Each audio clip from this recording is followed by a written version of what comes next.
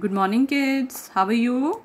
So we have done number 1, 2, 3, 4, 5, 6, 7, 8, 9, 10, 11, 12, 13, 14, 15.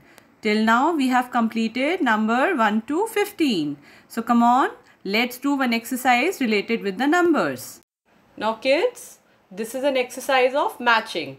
We have to do matching. Okay, so first of all, what we are going to count? We are going to count the balloons. Are you ready? Let's start. One, two, three, four, five, six, seven. Seven balloons. So you have to match balloons with number 7 like this.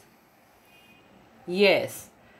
Now next we have stars.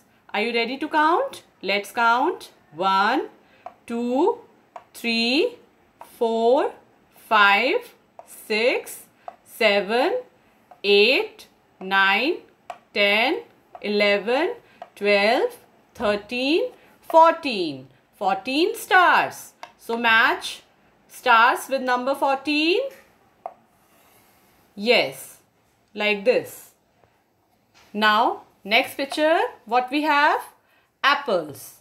What we have? Apples. Let's count the apples. One, two, three, four, five, six, seven, eight. Eight apples. So match apples with number 8. Yes, now next we have triangles. What we have? Triangles.